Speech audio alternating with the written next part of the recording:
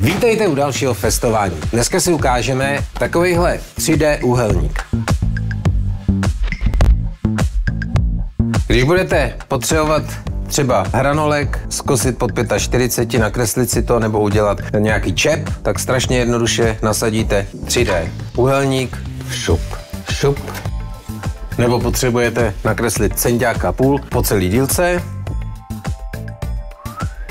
Samozřejmě 90 stupňů uděláte úplně v pohodě a když budete potřebovat využít uhloměr, tak tady máte vyfrezované uhly 30, 45, 60, tu stejný z druhé strany.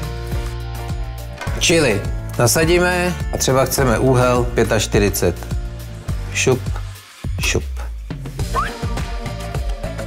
45 máte konec konců tady, ale můžeme zkusit například 60. Nasadíme a teď záleží z které strany chcete, buď takhle je 30 a tohle je 60 nebo potom obráceně. Takže tak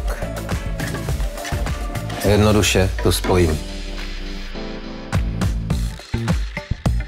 Samozřejmě ten 3D úhelník je označen ze všech stran, takže si můžete s tím pohrát, jak daleko je vaše fantazie.